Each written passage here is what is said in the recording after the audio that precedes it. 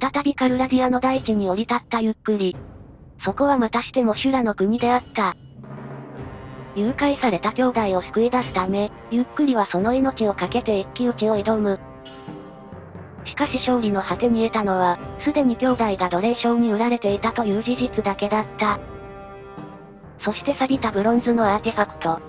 これを売って身の代金に変えるべく、ゆっくりはその正体を探るのであった。それでは今回から本格的な冒険を進めていこう。200年後の未来とのタイムパラドックスをなくすため、現在ある国家すべてを滅亡させていくぜ。しかしまだ我々にはその力がない。そのためクランを再建していかなくてはならない。当面の目的は2000円の確保、20人の人員、50の名声、そして名前のついたコンパニオンの雇用。これらを行ってゆっくりのクランを大きくしていくよ。それと並行してネレッツ皇帝のアーティファクトを調査していくぜ。ゆっくりはカルラディア帝国の正統後継者だから、ご先祖様のお宝ということだね。つまり売り払おうと我々の自由ということ。貴族に聞き込み調査をして、どういったものか調べていこう。そしてちょっとした小ネタ。右上のクランティアーにカーソルを合わせると、名声がいくつかわかるよ。最初どこに表示されるのかわからなかったぜ。現在我々がいるのが、帝国南朝。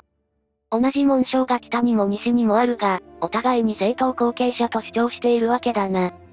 真の後継者はゆっくりなのにね。無駄な争いをしている分には、弱体化してくれて都合がいい。その間に我々は力を蓄えるよ。部下をすべて連れて行かれたから、まずは兵士の補充をしよう。現在は46人まで雇えるんだけど、収入が心もとないので、20人くらいまでにしておくよ。安定した食用斡旋ができるようになれば、もうちょっと増やしてもいいかもな。まだどの稼ぎ方が効率いいとかわかっていないので、いろんなことに手を出していきたいね。まずは盗賊狩りを試してみよう。お、ちょうどいいところにカモが。ちょっとお話をしましょう。説得されて身ぐるみを剥がされるか、身ぐるみを剥がされて説得されるか。好きな方を選ぶがよい。それでは初の夜間戦闘を行っていこう。これモニターの調整によって、だいぶ見やすさが違うな。環境によっては見づらいから、夜間戦闘は避けていくことにしよう。戦闘自体は滞りなく終了。今回の収穫はグローブだね。防御力29のなかなか良さげなやつだな。今回は運が良かったけど、だいたい1戦で200円くらいの儲けかな。効率的にはいまいちか。先ほどの戦闘で兵士がレベルアップ。今作も前と同じく、兵士の成長ツリーがあるぜ。とりあえず歩兵と旧兵に進化させていこう。そしてこれが帝国兵の成長ツリー。騎馬旧兵はいるけれど、騎馬兵はいないんだね。まだどの兵か、どこの兵士が強いのか分かっていないので、いろんな国で兵士を募っていくとしよう。それではもうちょっと就職希望者の面談をしていこうか。近くに大きな町があるから、働く場所はたくさんありそうだぜ。やっぱりいつまでも野党だなんて、不安定な職種についていられないよね。船の漕ぎ手とか鉱山とか農場とか、人手を欲している職場は多そうだ。今作では敵が逃げ出すと、その時点で勝利が確定するようだね。このように残党狩りもできるが、タブでさっさと戦闘を終了できるようだ。それでは近くのリカロンの町を訪ねよう。ここはなかなかに大きな町だな。まずは軽く見て回ろうか。なかなかに分厚い防壁を越えると、目の前にはレンガの街並みが広がっている。それと謎のちらつきもね。早期アクセスのバグだろうな。さてそれでは少し街をぶらつきつつ、ここで何ができるかを話していこうか。ここにあるのはアリーナ、酒場、商店、鍛冶屋、領主の館、地下牢。一つ一つは実際に利用するときに説明すると思うけど、大まかに言って、買い物、正体の結成、武器防具の作成、クエストの受注、仲間の勧誘などなど、多岐にわたった行動が行えるよ。そして領主の館には入れないようだ。賄賂がいるようだね。この辺は関係を深めるか、同じ勢力に所属することでも、対処できるんじゃないかと思うが、まだまだ調査不足なのでわからないぜ。前作でも酔っ払いに絡まれることはあったけど、ここにはゴロツキがたむろしているよ。どうも各町にはギャングがいるらしい。きちんとリーダーもいるので、そのうちクエストを受けることもあるかもね。こいつらはみかじめ料をもらったり、関税を避けるため密輸なども行っているようだ。ゆっくり立ちと麻薬のならず者ってことだね。それではちょっとお買い物タイム。安物の盾を購入しておくよ。防御が難しくなっているので、盾の重要性が格段に上がっている気がするぜ。これで楽に攻撃を防げるようになったよ。それでは酒場で一杯やろう。酒まんじゅうになっちゃおう。しかしお仕事があるから飲んでいられないぜ。ここではちょっとしたミニゲームが遊べたり、傭兵を雇うことができる。この警備員なんかそうだな。彼は新しい就職先を探しており、525円で7人雇ってほしいとのこと。高いので却下。また各地の酒場には、名前付きの傭兵、いわゆるコンパニオンが滞在していることもあるよ。固有の背景を持ったキャラだな。彼らは各地を転々としているのかな？ちょっと話を聞いておくか。彼女は樹脂や、借金のため軍に参加した。女性は石膏として配備されたけど、隠れるのが好きなタイプじゃなかったそう。胸をきつく締めて、用を足すところを見られないようにし、断層し最前線へ配備されたぜ。そして彼女はネレッツ皇帝の軍にいたそうだ。しかし直属の部隊にはいなかったのかな？どうもネレッツ皇帝が負け、彼女も配送士軍を辞めることになったそうだ。現在は大将の護衛として働いているが、あまり気に入っていないようだ。戦闘要員としてなかなか良さそうだけど、1108円も持ち合わせていないよ。今回はお祈りメールさせてもらうとしよう。そしてここに来たのは仲間勧誘のためでもあるんだけど、この人物に会うためでもある。ランサムってのは身代金のこと。ブローカーってのは仲買人のことだね。つまりは食用斡旋業者だな。奴隷というのはこの時代あまり流行っていないらしい。国境線が曖昧になっており、野党もはびこっているため、奴隷がとても逃げやすく、割に合わないそうだ。そのため身代金を家族に請求するビジネスが、主流となっているんだね。もし身代金を払えなかった場合は、ガレー船の漕ぎ手の仕事があるようだ。ゲロや共和国という外国に売られるようだけど、そこでも奴隷の漕ぎ手より、専門の漕ぎ手が重宝され始めているらしい。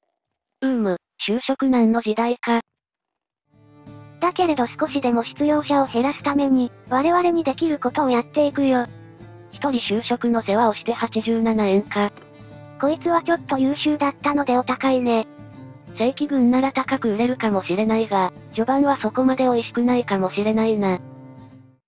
そして就職希望者を面談していると、何やら強そうな部隊を発見。ラガヤってもしかして。このラガヤはカルラディア帝国南朝の皇后。ライカロンとオニラの統治者でもある。彼女は暗殺された先の皇帝アレニコスの妻であり、その暗殺が元となって後継者争いが起きているようだ。それでは彼女にネレッツフォリーについて聞いていくぜ。直訳するとネレッツ皇帝の愚行。彼女によると今から7年前の、ペンドラックの戦いのことらしい。スタージア、バタニア、ブランディアの連合軍と戦うため、ネレッツ皇帝はクサイと、アセライトの連合軍を率いていた。それは彼にとって悲劇であった。ネレッツはこの戦いで戦死。しかし勝者も良い結末を迎えられなかった。何があったのだろうか？ペンドラックの戦いは直接見ていないが、夫のアレニコスがよく話してくれたそうだ。アレニコスは最もネレッツに信頼された指揮官だった。彼は敗走を防げなかったが、その最悪から残ったものを救った。スタージア軍がバリケードを乗り越えた時、彼はネレッツの護衛を引き連れて脱出した。廃山兵を連れて過酷な逃避行を成功させた。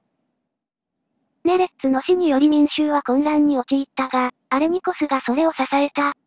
元老院は次の皇帝にアレニコスを定め、ラガヤはさらに彼に惚れ直しましたとさ。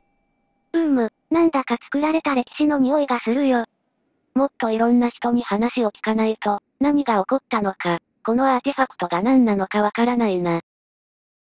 さらなる調査のために各国を回ろうと思うんだけど、そのためには先立つものが必要。ということで、闘技場でトーナメントに参加するぜ。トーナメントは全部で4回戦。最初はチーム戦だな。そしてお金をかけることで、勝利した時に賞金をもらうことができるよ。前作よりもわかりやすくなっているな。それでは青組として、他のチームを徹底的に説得していくよ。使用する武器はランダムで支給される。また歯が潰されているそうなので、前歯がなくなるくらいで死にはしないそうだ。昔は罪人に死ぬまで戦わせていたそうなんだがな。己の力量を示し名声と富を得ることができる闘技場は、非暴力主義の我々にとって、ふさわしい活躍の場だね。儲けられる金額にもよるけど、効率良かったらここに入り浸るかもな。さてそれでは現在の武器について話していこうか。近接武器は主に3種類、片手、両手、長い武器となっているぜ。これは長い武器に分類される槍だね。見たまんまリーチが長く、盾も装備することができる。ただ振りは片手より遅く、距離を詰められると不利だね。馬上では一番扱いやすいかもしれない。一時ランスチャージが猛威を振るっていたそうだが、このゲームではどうだろうか。そんなことを言っていたら、一回戦突破だぜ。それではさらに倍プッシュでかけていくよ。しかし先ほどより儲けは少なく、58円しか増えないようだ。これあんまり効率良くないかも。それでは2回戦の始まり。今度は4対4のチーム戦だね。獲物は変わらずだな。前作の闘技場と違って、だいぶ NPC がつまらなくなったね。端っこで団子状態になって、全く身動き取れなくなっていたもんな。お、138ダメージ。今作でも騎乗時のスピードボーナスは健在。うまいこと馬を走らせて、強烈な一撃をお見舞いしたいね。そして気づけば残り一人。こちらは一人の脱落者もなしか。やはり優秀な我々がついている方が勝つということだな。それでは準決勝を戦うとしよう。今回は75円の儲けか。食料斡旋よりもひどいね。準決勝は2対2。勝ち上がったチームが決勝を戦うことになるのか。昨日の友は今日の敵ということか。悲しいけどこれトーナメントなのよね。なら仕方ないな。